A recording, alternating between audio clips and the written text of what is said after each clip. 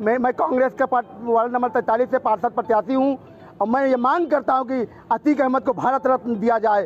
अतीक भाई अमर रहे देश के झंडा अमर रहे अतीक भाई अमर रहे ला इलाहा इल्लल्लाह। पुलिस कस्टडी में मौत के घाट उतारे गए माफिया अतीक अहमद और उसके भाई अशरफ की हत्या के बाद पूरा विपक्ष योगी सरकार पर हमलावर है। विपक्ष पुलिस अभिरक्षा में हुए इस दोहरे हत्याकांड को लेकर सियासी बयानबाजी लगातार कर रहा है। जब यूपी निकाय चुनाव में कांग्रेस के एक प्रत्याशी ने ऐसी डिमांड रख दी जिसे सुनकर सभी चकरा गए। कांग्रेस के पार्षद प्रत्याशी राजकुमार उर्फ़ रज्जू भैया ने माफिया अतीक अहमद को शहीद बता दिया। इतना ही नहीं कांग्रेस उम्मीदवार ने अतीक अहमद को भारत रत्न दिए जाने की मांग कर डाली। मांग को लेकर कांग्रेस की तरफ़ से मांग कर रहे हैं किसको आप भारत रत्न देने की मांग कर रहे हैं किस तरह से किसको तिरंगा नहीं उड़ाएँगे क्या पूरा मामला है? देखिए अतीक अहमद का जिस तरह से योगी सरकार ने मर्डर कराया योगी जी को इस्तीफा देना चाहिए। मैं मैं कांग्रेस का वार्ड नंबर तैंतालीस से पार्षद प्रत्याशी हूँ।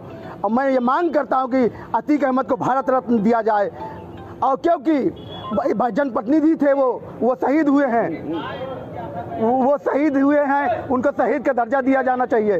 और अतीक अहमद को शहीद का दर्जा दिया जाना चाहिए। और भारत रत्न दिया जाए मोदी जब मुलायम सिंह को पद्म विभूषण मिल सकता है तो अतीक अहमद को संसद से अतीक अहमद को क्यों नहीं मिलता भारत रत्न? उनको क्यों राजकीय सम्मान नहीं दिया गया? क्यों नहीं उनको तिरंगा झंडा उड़ाया गया? उनकी कब्र पे क्या बयान दे रहे हो यार? ये फालतू बात कर कांग्रेस कैंडिडेट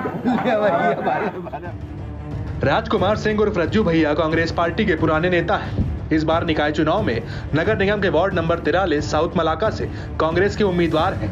रज्जू भैया पहले भी पार्षद का चुनाव लड़ चुके हैं। कांग्रेस उम्मीदवार का विवादित बयान सोशल मीडिया पर जमकर वायरल हो रहा है। उनके बयान के बाद जब कांग्रेस के नगर अध्यक्ष प्रदीप मिश्रा, अंशुमन ने उन्हें रोका, तब भी रज्जू भैया नहीं रुके और अपना बयान देते चले गए।